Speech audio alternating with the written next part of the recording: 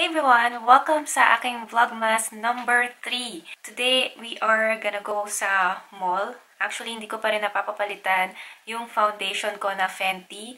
Kaya, samahan nyo ako para gawin yan kasi weekend ngayon at hindi ko pa siya nagagawa. So, I wanted to try that one out. Let's see kung magagawa ko siya today. Actually, um, hindi pa rin ako nagbe-breakfast. Pero alam niyo na, nakabihis na ako. I'm having breakfast right now and I have the turkey chipotle sandwich, my favorite. And meron akong soup dito. Ayan. And I also have the chips and cafe americano iced. And this is my new discovery, guys. Ang sarap, sarap, sarap, sarap nito. this is um, pizza pretzel. How much are these, guys? It's around $15 favorite ko talaga yung ano, pizza pretzel. Sobrang sarap, guys. Sana meron yan sa Pilipinas. Ang lambot kasi ng pretzel, tapos yung pizza sa loob. Lasang pizza talaga.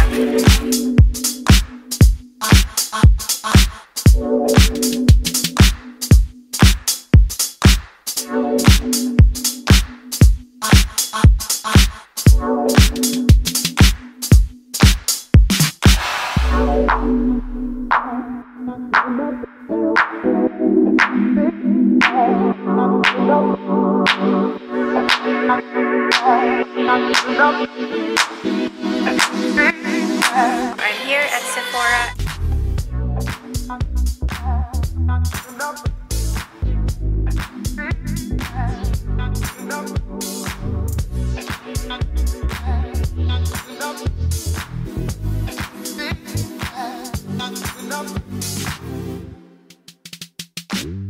I listen what you say? You're gonna like this one. It's a really good one. Buildable coverage. It lasts all day, but still makes your skin look natural and healthy.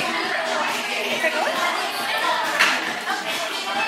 So this is my Yeah. I usually say if you cannot tell the difference, then that's a good color match. That's great. Oh, Yeah. actually, I can tell the difference. That's great. This is the new um, release. Or, Yeah, it's the latest foundation that came out. I want to say it came out probably like a month and a half ago. Yeah. So you hear about it all the time, especially in media and stuff. Yeah. okay. Anyway, this I've never seen this um, like before. I always see the old one, so I thought Yeah, this is new. Yeah, that one's new. Okay.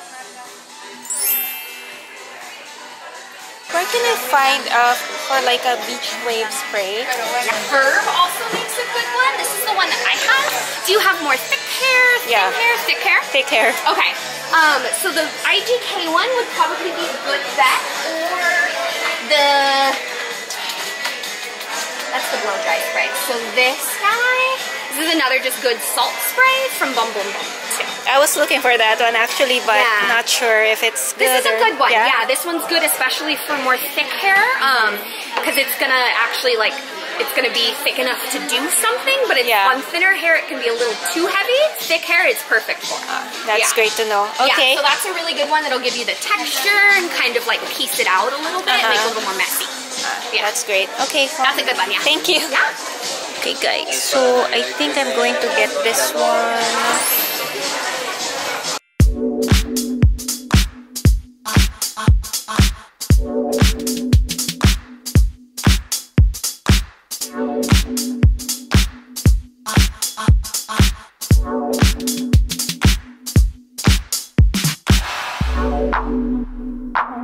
Okay,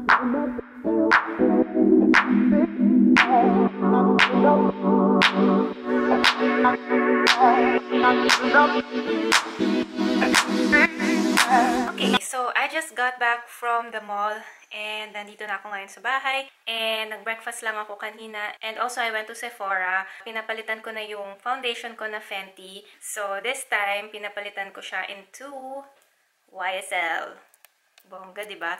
YSL tayo ngayon. So, eto naman, um, this is the All Hours Foundation. It has an SPF 20 tapos 24-hour wear siya, guys.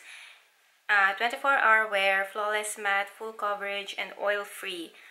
I am quite excited to try this one. Bago lang to guys, 2 months ago lang nila na-release um, sa YSL line foundation. So, Yon. And my shade is Bisque. Yan. Ito siya. Then, I also grabbed a travel size um, Sephora brush kasi kailangan ko to. Um, ito yung Pro Flawless Airbrush 56.5. So, ayun lang guys. Hindi ko na kinuha or kinip yung Fenty by Rihanna na foundation. Parang feeling ko kasi hindi ko siya ka-vibes yung uh, finish niya para sa aking skin. Mas excited tayo dito. Yun lang masasabi ko. So, uh, before I end this vlog guys, kailangan na natin i-put up ang ating Christmas tree. Dahil magki-Christmas na, kailangan natin yan. So, samahan nyo kami to do that. So, let's go!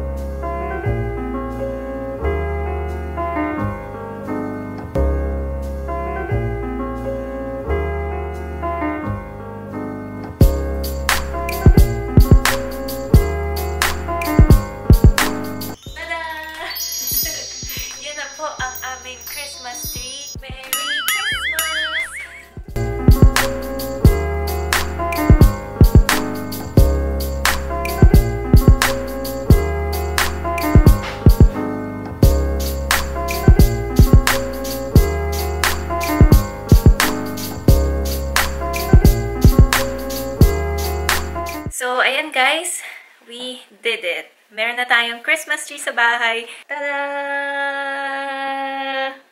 That's it everyone for today's Vlogmas. I hope na nag-enjoy kayo.